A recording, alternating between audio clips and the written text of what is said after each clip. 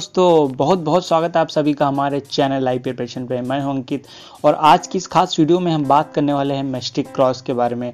हमारे कर्मों से ही हमारे भाग्य का निर्माण होता है और अगर हमारा भाग्य सपोर्ट करता है, हमारा साथ देता है, हम जल्द ही बहुत कुछ अर्जित कर लेते हैं। दोस्तों, सबसे पहले मेस्टिक क्रॉस कहाँ बनता है जान लेते हैं। ये आपकी हो गई हृदय रेखा। उसके बाद आपकी मस्तिष्क रेखा यहाँ से नीचे जाती है, उसके बाद आपकी ये जीवन रेखा जो नीचे जाती है। ये तीन तरह की आपकी जो रेखाएँ हैं, उन्हीं के बीच में आपको यहाँ पे क्रॉस मिलेगा। ये मोस्टली 70 परसेंट लोगों में ये क्रॉस पाया जाता है और ये क्रॉस हर हर सभी व्यक्तियों का अलग अलग होता है और अलग अलग परिणाम भी हमको ये क्रॉस देता है। दोस्तों, इसके अतिरिक्त हम आपको बता देना चाहते हैं कि ये जो क्रॉस आपका बनता है, आपकी हृदय रेखा आपकी मस्तिष्क रेखा के बीच में ये कई तरह के होते हैं। आपका ये सूर्य उंगली हो गई, आप फिर ये आपकी शनि पर्वत हो गया और ये आपका गुरु पर्वत हो गया। इन पर्वतों के नीचे अलग अलग परिणाम मिलेगा। मान लीजिए आपकी गुरु उंगली के नीचे है, आपकी शनि उंगली के नीचे क्रॉस है और आपके गुरु पर्वत के नीचे क्रॉस है। इन तीनों क्रॉस का रिजल्ट्स अलग अलग होगा। हमारे परिणाम अलग अलग होगा। ये मुख्यतः आपकी इमोशंस आपकी फीलिंग्स आपकी भावनाओं को लीड करता है। तो ये एक धार्मिक साइन भी होता है। तो आपको ये देखना है, धार्मिक आपको होना, आध्यात्मिक होना आपको बताता है कि कितने आप धार्मिक हैं, कितने आप आध्यात्मिक हैं। और जीवन में किस स्तर तक आप जाएँगे और कहाँ पे डाउन आएँगे, ये साइन ये भी हमको दर्शाने की क्षमता रखता है दोस्तों। तो ये क्रॉस बेहद इम्पोर्टेंट दोस्तों, जैसे कि मैंने बताया, ये एक मिस्ट्रिक साइन है। अर्थात ये किसी ना किसी तरह के रहस्य से संबंधित है तो इसको मिस्टिक क्रॉस कहते हैं। ये क्रॉस हमको क्या परिणाम देता? है मुख्यतः ये आपकी फीलिंग्स को बढ़ाता है, फीलिंग को एक्सेलरेट करता है। अभी किस भी तरह के व्यक्ति होंगे, आपकी फीलिंग को एक्सेलरेट कर देगा मतलब उसमें वृद्धि करता है। फीलिंग्स की वृद्धि करता है ये साइन। मगर आप एक इमोशनल व्यक्ति है तो आपको और भावुक बना देता है। अगर आप धार्मिक व्यक्ति है तो आपको और धार्मिक बना देता है। अब अगर आप प्रैक्टिकल व्यक्ति हैं, अगर आप सूर्य की तरह प्रैक्टिकल यहाँ पे साइन आता है तो आपको ये बना सकता है और ज़्यादा प्रैक्टिकल तो हम तीनों की कंडीशंस के बारे में बात कर लेते हैं। पहले यहाँ पे बात करते हैं, जो मेन होता है, शनि के उंगली के नीचे अगर ये आपका साइन आता है क्रॉस आता है, ये छोटा बड़ा हो सकता है, हो सकता है यहाँ पे ऊपर की रेखाओं पे टच करता हो।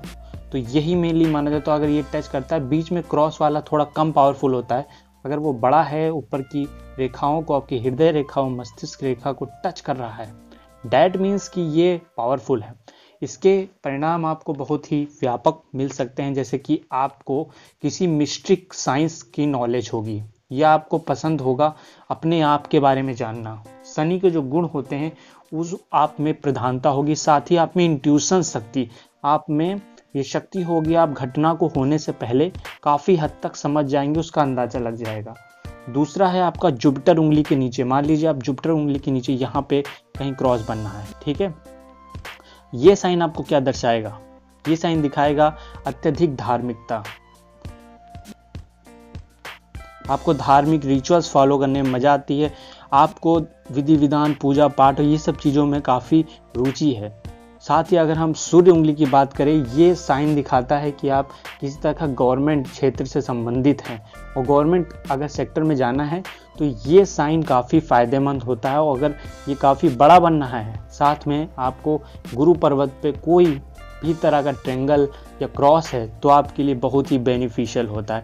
दोस्तों, ये आपने जाना किस किस तरीके से ये हमको प्रभावित करता है। साथ ही दोस्तों, इस साइन में आपको ये ध्यान रखना है कि अगर ये पूरी तरीके से आपकी हृदय रेखा और आपकी मस्तिष्क रेखा, इन दोनों को पूरी तरीके से अच्छे तरीके से टच करता है इन क्रॉस पे, यहाँ पे लाइंस पे।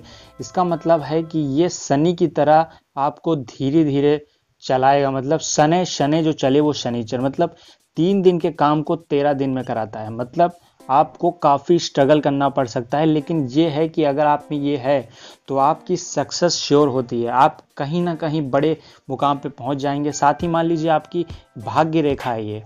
भाग्य रेखा को क्रॉस करती हुई कोई ऐसी रेखाएँ है या इधर से कोई रेखा है तो भी ये क्रॉस कंसीडर किया जाता है। अगर ये क्रॉस है तो आपकी फीलिंग्स को मतलब आपकी भावनाओं को एक्सेलरेट करता है।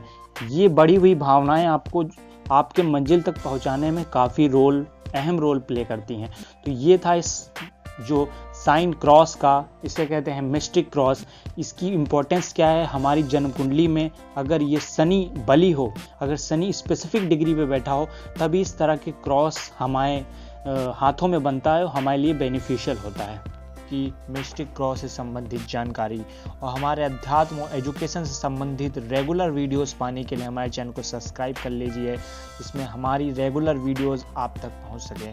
किसी और वीडियो में किसी और टॉपिक के साथ हम मिलेंगे। तब तक के लिए नमस्कार दोस्तों।